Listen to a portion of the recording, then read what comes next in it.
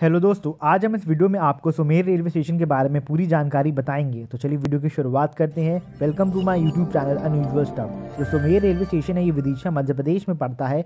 इसका जो station code है, वो है एस यू एम आर ये भोपाल डिवीज़न के अंदर आता है और इस स्टेशन का जो जोन है, वो है वेस्ट सेंट्रल रेलवे इस स्टेशन पर टोटल दो प्लेटफॉर्म है और यहाँ से टोटल तीन ट्रैक्स गुजरते हैं।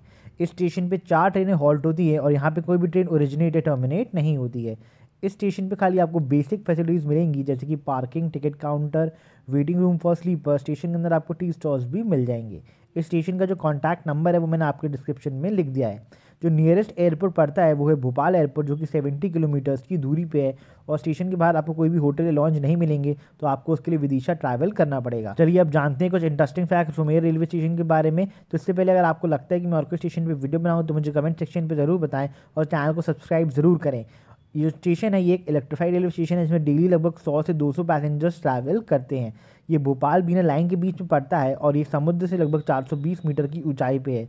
इस स्टेशन की जो कैटेगरी है, वो है N S G six category E का स्टेशन माना जाता है। जो मेजर ट्रेनें स्टेशन पर रुकती हैं, वो बेसिकली पैसेंजर ट्रेनें हैं, जो इटारसी, झांसी, बीना और भोपाल के बीच में चलती हैं। जो सुमेर सिटी है, यहाँ पर लोगों का जो बेसिक काम है, वो है एग्रीकल्चर और ये विदिशा के पास पड़ता है। तो आज इस वीडियो में इतना ही। चैनल को लाइक और सब्सक्राइब ज़रूर करें। धन्यवाद।